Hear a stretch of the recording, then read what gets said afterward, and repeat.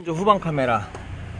어, 전원선 후방 빠꾸선하고 마이너스는 여기다 엮, 엮어주고 여기서 나오는 후방 영상과 후방 마이너스는 여기다 엮, 엮어줘야 네 가닥을 다 엮어줘야 정상적으로 돌아갑니다.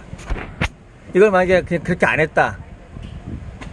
아니면 여기다 그냥 이거 마이너스 빼버리고 이걸 여기다가 묶- 묶어주던가 차라리 여기다가.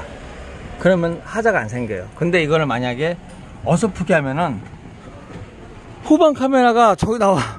어, 회색으로. 흑백 카메라 모양. 그러니까 조심하자.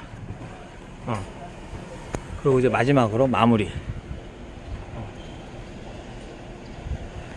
그랜저. 그랜저. 그랜저.